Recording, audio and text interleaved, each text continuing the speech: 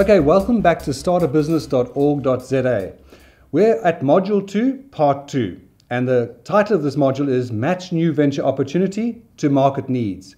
It's Unit Standard 119669. In Part 1, you'll remember that we had two case studies making friends and working for free. Just to recap then, making friends in business is an essential part of being successful as well as working for free, because when you work for free, you're able to see the opportunities that others aren't seeing, and they become apparent to you and become something you can create a business out of. Anyway, back to this module matching opportunities. So, what does marketing mean? It's about selling products to the public at a profit. But first, you've got to understand the needs of your market before you can begin to market to them. Marketing's all about the four P's product, price, place, promotions. We'll discuss these in detail to follow. Okay, we've got a case study for you.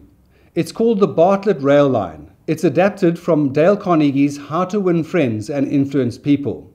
In the early days of America, the government wanted to put a railway line from the east coast to the west coast. The problem was there was a large ranch owned by Mr. Bartlett right in the middle where the railway line would want to go through. To put the railway line around Mr. Bartlett's farm would cost a large amount of money extra, which they didn't want to do. So they approached Mr. Bartlett and said, I tell you what, we'll pay you X amount of million dollars that we can put the railway line through your farm. Would, can you please allow us to do such a thing? And Mr. Bartlett said no. It wasn't about money. He was quite happy with the farm. He didn't want a railway line splitting the farm in two. So the government got together and they thought to themselves, how do we approach Mr. Bartlett? Because to put the line around Mr. Bartlett's farm was going to cost way too much money. And one of the delegates said, How about we call that section of the farm the Bartlett Railway Line? Hmm, that's not a bad idea, thought the others. So they approached Mr. Bartlett with the concept. Mr. Bartlett was ecstatic. He thought to himself, A railway line named after me? That's amazing. Anyway, he decided to take two days about it and think about it and came back and said he'd do it. The government had achieved what they wanted to. They would put their railway line through Mr. Bartlett's farm at no extra cost and just be able to call it the Bartlett Railway Line section. So, when you look at this case study, you realize that in order to sell something, you may have to tickle someone's ego. It's not just about your product, but it could quite easily be about how you tickle what somebody else thinks is important. All right, so we've talked broadly about what the four P's are. Let's just try to understand them in detail. Let's take a look at product. So there are two types of product a tangible product, which might be a motor car, and you get an intangible product, such as an insurance policy. Both of them are offerable to clients. A product like a car is easy to compare against another product whereas a service makes it a bit more difficult. Differentiation between a product and a service is something that you'll want to do as an entrepreneur to make your product competitive in the marketplace. It's a bit easier to make a service more competitive than it is a product such as a car, because a car is easily copyable. Let's take a look at price. Price is an essential part of marketing your product. If your price is too high, you may not get sales. And if your price is too low, you may not get sales either. So you want your price to be in comparison to competitors. But you can use price to differentiate your product once again. Take a bottle of perfume, for example. A small bottle of perfume can cost hundreds of rands, and yet the product inside is costing very little. So the price is high to create a perceived value of quality. However, when the price is low, the opposite can be true. If the price is too low, people can think that the quality isn't there. So a bottle of perfume which costs a rand, people may not purchase because they think, well, this just isn't the right product to give my wife or girlfriend. Let's take an example where you've got a unique product. Now, this product is first on the market. Don't forget, you probably got quite a bit of research and development costs behind this product, and you'll want to recover those costs. So your price might be quite high, knowing there aren't competitors around. However, as the competitors enter the market, you're likely to have to lower your price to stay in line with the competition because they're able to charge a cheaper price having not had the research and development costs that you had. Uh, an interesting story I once heard from a friend of mine was that They were trying to decide in the early days in the 70s how to price the repairs on a TV set. They sat around for hours around the boardroom table trying to figure this out. What should we charge? At that time, TV sets in South Africa were quite new. After hours of delegating around the boardroom, they eventually figured out that if they walked across to the competitor and had a look at what he was pricing repairs on TV were for, they could choose that pricing. So sometimes pricing can just be what are your competitors pricing it at, and therefore you know how you should be in the marketplace. Okay, so let's look at place. Place refers to how you're going to distribute your product. You might have a shop, for example, and that's where your products are distributed from. Or you might be a car manufacturer that manufactures cars in South Africa and exports them around the world. They've got to think of the logistics about sending products onto ships and getting them to the destination through dealerships. Dealerships and franchises, those are all place orientated things. And place has an important bearing on the cost of your product and what it lands at for your consumer. Okay, and then we've got promotions. Now, promotions is an integral part of marketing. How to tell people about your product. Think about how you're going to possibly package the product. Will you have a red bow around it?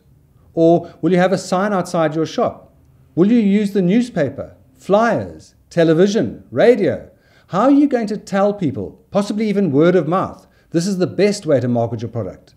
Happy customers are likely to talk about your product. But bear in mind, unhappy ones are also just as equally going to say something bad about your products or your service that you offer. So, promotions is about letting people know that you exist in the world.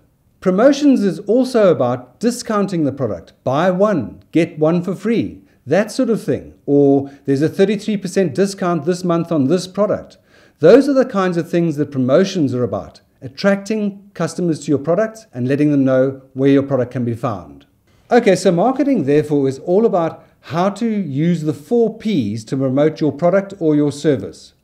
So, segmentation is a way we can divide the larger market into smaller areas. Let's take a look at some of these, such as age, sex, income, geographical area like where they live, maybe their culture might be a segment, or even a religion could be a segment.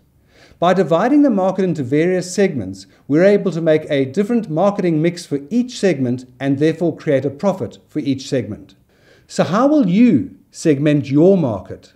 Now we're at the topic of market research, and this is paramount to creating a correct marketing mix strategy. Market research is an integral part of the marketing mix. We need to know what we're going to do or what strategy we're going to follow when tackling our marketing mix. Have a look at these. For example, where there may be a gap in the market. What sort of pricing are the competitors doing? What strategies are they following? What competitive advantage will our product or service have? In other words, that's something that we do uniquely that's different from the competitors. What sort of product development will we have to do to meet the marketing mix and to meet the segment we're talking to? We need to understand the needs of our customers. We need to understand very clearly what do they expect and what perceptions they may have as to our products and services. And so by understanding the research we've undertaken, it helps us with developing our strategy and our 4 Ps. And it also helps us to know what sort of problems we might come across when developing our 4 Ps. Okay, so bear in mind when we're creating our marketing plan, we must make sure that our goals are SMART specific, measurable, achievable, and realistic and time based.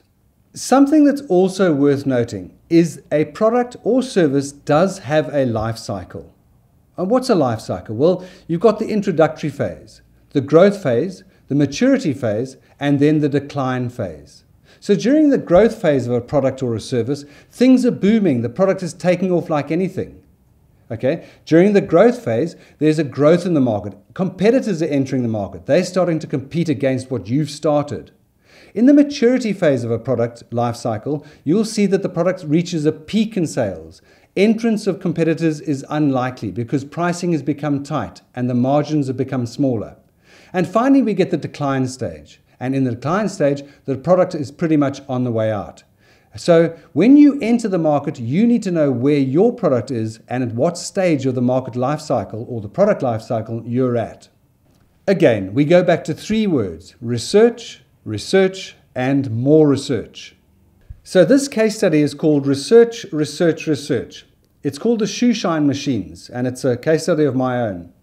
I recall in 2005, we had um, just sold our IT business and we'd made quite a bit of money, and we decided to embark on what we found a product in America to be the shoe shine Machines. Fantastic little machines.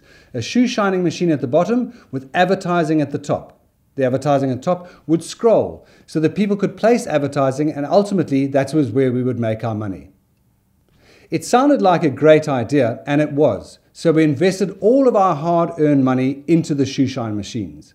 10 came to South Africa. We secured the rights to Africa. It was amazing. This was going to make millions. They arrived and we set them up and decided to take them around the country to sell the advertising, only to discover that the bigger players didn't want to buy segmented advertising. That is, a three second piece with lots of other advertisers scrolling across the screen. They wanted to own the machine. And if they owned the machine, the cost of the advertising would have cost too much. So our idea of starting the shoeshine machines fell flat on its back. The only way to make money was to sell the advertising space segment by segment. To sell it to just one advertiser would have cost too much, and we therefore couldn't do it. We lost all that money we'd invested, and we had to start our lives all over again. So, the moral of this story is when you're doing your research, make sure you know exactly what the product will sell for, who it will sell to, and who will buy the product at the end of the day. Because if you don't do your research, you're heading down a road which can cost you a lot of money.